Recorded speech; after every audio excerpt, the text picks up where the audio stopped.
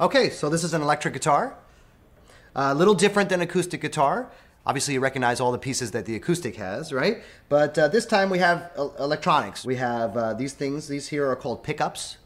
What they do is they pick up the vibration of the string, turning into electricity.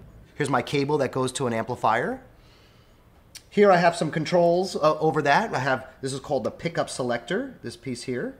And what that does is it turns on one of these pickups or both. So in this first position here, just this pickup is on. And that sounds kind of moody, right? Little, little darker sounding. And then in the middle position, I have both of them on, so it's starting to sound a little brighter.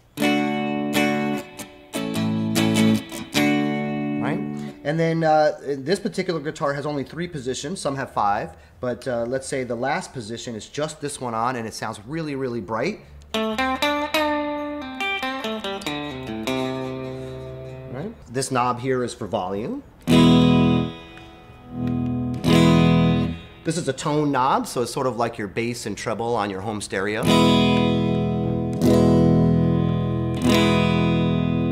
That's it. Those are the parts of the guitar.